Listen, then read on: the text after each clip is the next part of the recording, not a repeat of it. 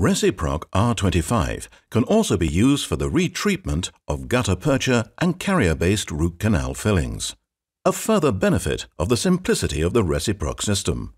This is how it works. If necessary, use a solvent, for example, eucalyptus oil, to soften the gutta-percha. First of all, remove the bulk of the gutta-percha in the coronal third of the canal with an appropriate instrument, for example, a Gates Glidden drill.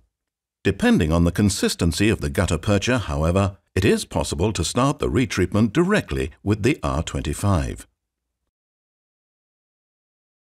Let the Reciproc instrument slowly advance into the gutta-percha with only very light pressure. Move the instrument with only very light pressure in a slow in and out pecking motion. Make sure that the amplitude of the in and out movements does not exceed 3 millimeters and limit the number of successive pecks to three. After three pecks, clean the debris from the flutes in the interim stand.